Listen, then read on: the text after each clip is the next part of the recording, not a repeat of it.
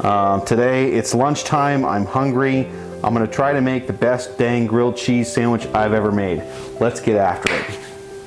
First ingredient, bread. I got here? Homemade challah bread. Challah. In this grilled cheese, uh, I'm gonna use two different cheeses. This is smoked Gouda. I love smoked Gouda. It is very, very Gouda. I'm gonna use some good old cream cheese like this. Anybody who knows anything about flavor knows that cream cheese goes really well with pepper jelly. Uh, this is from the Vermont Country Store. This stuff is legit. Okay, that's probably good. Now, when we're talking about grilling the grilled cheese, obviously you can use a bunch of different stuff to heat up your grilled cheese.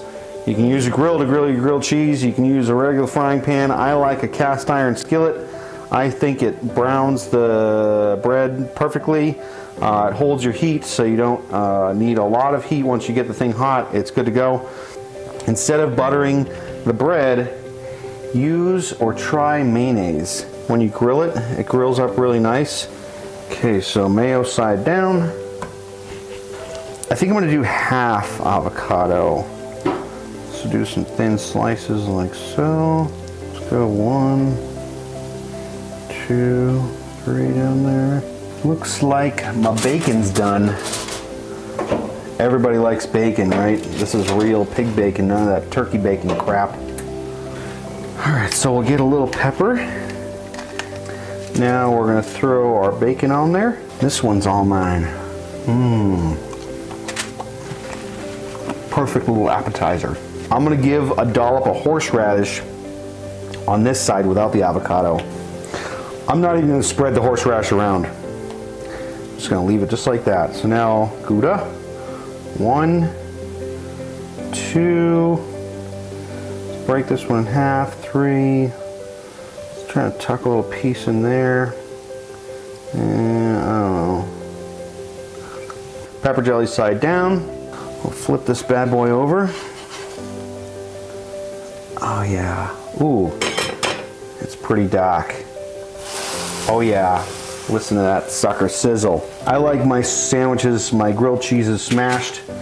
Um, when you smash them, all the cheese, the jelly, the avocado, everything in there kind of smooshes and melts together and it kind of acts as a binding agent like a glue that holds the sandwich together. It makes it easier to flip the second time. Ooh, listen to that.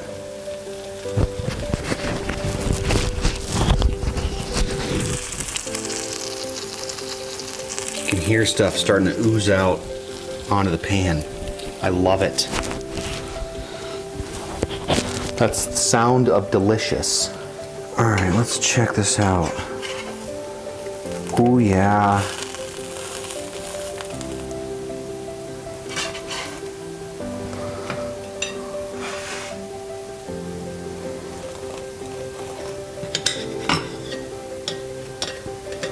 Oh, no cheese pull. Oh well. You gotta use like some mozzarella or some gooey cheese to get the cheese pull. All right, for the test.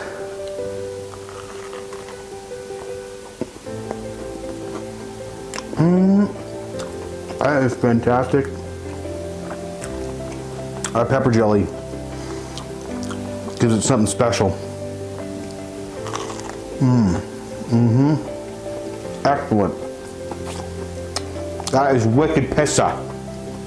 I'm not gonna say it's the best one I've ever made, the best grilled cheese, but close. These are my taste testers. Joey, Evie, they're my dogs, they're awesome. Joey, can you sit? Good boy. Oh yeah. Oh yeah, I think he likes it. Evie? What that? What that?